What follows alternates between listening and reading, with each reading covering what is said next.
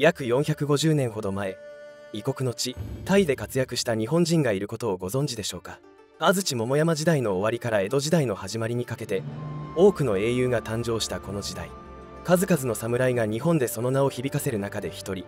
タイの国王にその実力を認められた男がいました。彼の名は山田長政。言葉もわからぬ地にたった一人で乗り込みついには王女との結婚まで果たした彼の功績は今なおタイで語り継がれる伝説となっています。しかし日本人があまり聞くことのないこの名前。彼は一体どのような人物だったのでしょうか。今回は山田長政の波乱万丈の生涯に迫りながらなぜ彼がタイの人たちから英雄と称えられているのかを解説します。ぜひ最後まで楽しんでご視聴ください。タイの英雄山田長政。その故郷は駿河の国現在の静岡県です。1590年頃に染物屋の息子として生を受けた長政は10代半ばで実家を出ると沼津藩主の下で籠の担ぎ手となりました。籠は当時の移動手段の一つで人が乗って座れる場所を作り上に棒を通してその前後を担ぐものです。基本的には2人1組で籠を担ぎ中に人を乗せて運びます。籠の担いで移動するには相当な体力が必要なので長政も体格に優れた人物だったのかもしれません。というのも山田長政には謎が多く詳しい記録が残されていないのです。ただ22から23歳の時に突如異国の地シャム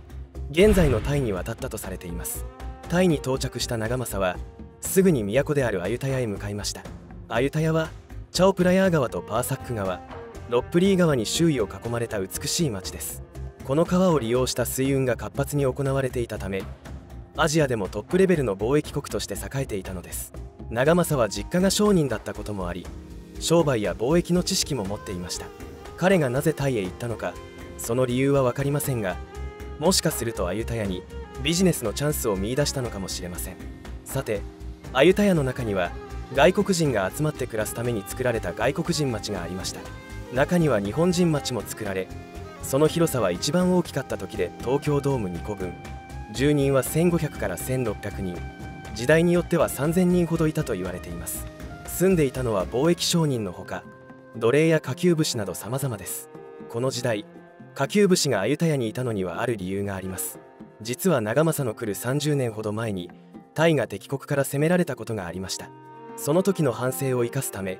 タイの国王が傭兵隊として雇ったのが下級武士だったのです。このような多くの人が集まる日本人町を仕切っていたのは貿易商人の紀伊久右衛門と傭兵隊長の津田又左衛門です。長政は紀伊久右衛門の下で学ぶことを決めいよいよ貿易商としての活動を開始します。長政は日本から刀を輸入しタイからは鹿やサメの皮陶器生薬の素朴などの輸出を始めました。そのまま順調に利益を上げていき日本以外にもルソンやマカオなどの国々へも貿易ルートを広げていきます。一方で籠の担ぎ手で鍛えた体を見込まれて津田又左衛門の率いる傭兵部隊に入隊すると港の管理や警備を任されたほか戦いにも参加するようになりました。1921年頃には又左衛門と久右衛門は日本へ帰国したためその後継者として傭兵隊長と日本人棟梁を任されます。また同じ頃にビルマとの戦闘で実力を発揮した長政は24代ソンタム国王から君という貴族の位を賜りました。もちろん貴族の中でも一番下の位ではありましたが日本では無名だった若者が華やかな世界に仲間入りした事実に変わりはありません。長政は貿易商としても傭兵としても大変優秀でした。二足のわらじを履くだけでなくその両方で認められたのです。ですが華々しい経歴を積み重ねる長政にある試練が訪れます。長政がタイに来てから約10年が経った時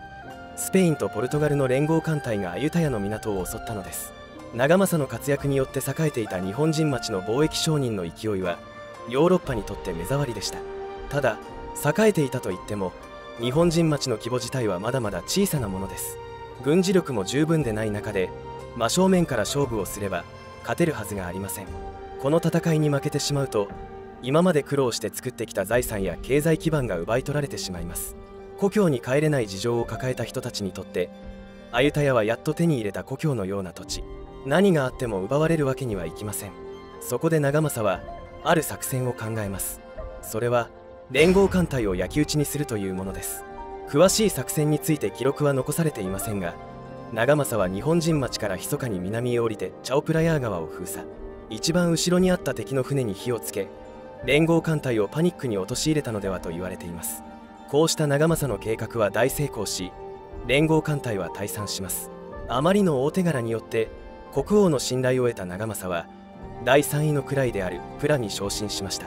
長政の影響力は絶大なものとなったのです。長政は1624年にもスペイン艦隊を破りアユタヤを狙う敵から国を守る重要な役割を担っていました。商売の才能と武の才能その両方で成果を上げただけでなく忠誠心も強かった長政は国王からさらに強い信頼を得ます。1628年長政は第2位の位であるオークヤーに昇進し戦いの神を意味するセナーピムックという名前をもらいました。しかもその次の年長政はソンタム国王の王女と結婚します。もともと身分も高くなかった日本人がタイの王女と結婚するのは日本では考えられないほどの大出世です。出世街道を邁進する長政。ですがこの年の末に状況は一変します。一人の男シーウォーラウォンによって政治争いに巻き込まれることになるのです。シーウォーラウォンはソンタム王の母方のいとことも腹違いの弟とも言われています。彼はアユタヤ切手の天才と評される人物でしたが長政とは違い忠誠心のかけらもない男でした。シーウォーラウォンの野望は自分自身が王になることです。そこで彼が目をつけたのが王位継承問題でした。この時ソンタム王は体を壊しており宮廷内では誰を跡継ぎにするかで大いに揉めていました。ソンタムの息子派とソンタムの弟派の2つの派閥で争う中問題のシーウォーラウォンは息子派につきます。なぜならソンタム王の息子は若い上に頭も良くなく簡単に支配できると考えたからです。バカな王を自分が裏で操り政治を支配する。それがシーウォーラウォンの計画でした。彼は長政に日本では息子に後を継がせるということをソンタム王に言うよう説得します。長政は彼のことを少しも疑っていなかったため言われるままに王に助言しましたし王もまた信頼する長政の助言であれば聞き入れました。こうして王は遺言書に息子が後を継ぐようにと書き残すとそのまま亡くなりました。この結果を受けて喜んだのはシーウォーラウォンです。早速宮廷に王の弟を呼び出し遺言書を見せつけます。さらに用心深いシーウォーラウォンは宮廷の中に4000人の日本人兵を配置しました。その上アユタヤの町を1万人もの日本兵で囲むという徹底ぶりです。この状況では弟も遺言書を納得せざるを得ませんでした。王位を息子に継がせることに成功したシーウォーラウォンは即位したチェーター王を利用して邪魔になるものを次々と排除していきます。その中にはソンタム王の弟も入っていました。とにかく残酷なシーウォーラウォンは政治で重要な役職に就いていた人々をためらいもなく殺していったのです。そして空いた枠には自分の信頼している人物を入れ理想とする政治に整えていきました。ですがシーウォーラウォンの悪性はまだ止まりません。さらなる高みを求めたシーウォーラウォンは王を殺す計画を立てたのです。彼は今までの粛清で殺された人物は全てチェーター王の命令で殺されたのだと嘘の情報をばらまきました。そして暴力的な王様を倒そうという大義名分のもと王を殺して処刑しました。ここでようやく長政もシーウォーラウォンの悪巧みに気づきます。国王の思いを裏切ったシーウォーラウォンへの怒り。それを見抜けなかった自分への不甲斐なさや殺された人たちへの申し訳なさ次の王は私だと言い放つシーウォーラウォンに対し長政はただ一人反対の声を上げました。もはやシーウォーラウォンの味方しかいなくなった宮廷の中で長政は唯一彼に対抗できる人間でした。しかしそんな長政の思いも虚しくシーウォーラウォンは第27代国王プラサートトーンとして即位してしまいます。同時にプラサートトーン王は最後の反抗者である長政を殺すしかないと考えました。王の命令によりリゴールという場所に送られた長政。彼はそこで隣国のパタニ王国との戦いに備えるためと軍の隊長に任命されます。しかしリゴールはアユタヤから 700km も離れたところです。しかも戦いは激しく味方の兵隊は少ない状況でした。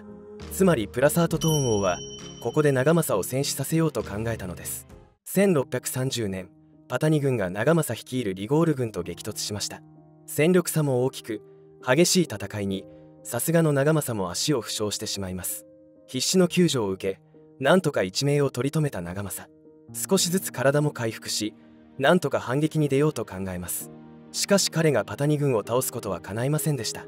敵に殺されたのではありません。家臣の一人が裏切り長政の傷口に毒薬を塗ったのです。この時長政40歳。初めてアユタヤに来てから一度も日本へ帰ることはありませんでした。暗殺の黒幕はプラサートトーン王とも長政を商売的に睨むオランダ人勢力とも言われています。長政が死んだ後息子が軍の隊長を引き継ぎましたが彼もまた殺されました。部下であった日本人傭兵部隊も散り散りにされアユタや日本人町は焼き討ちにされます。この焼き討ちもプラサートトーン王による命令でした。中には生き延びた住民もいましたが彼らも日々の暮らしの中でタイ族に同化していきついに日本人町は終わりを迎えます。約450年も昔に一人でタイに渡りそこで激動の人生を生きた山田長政知り合いのいない土地で自らの能力を磨き誠実な心で王の信頼を勝ち得ました。最後の最後まで裏切らず王への忠誠を果たしたその人柄は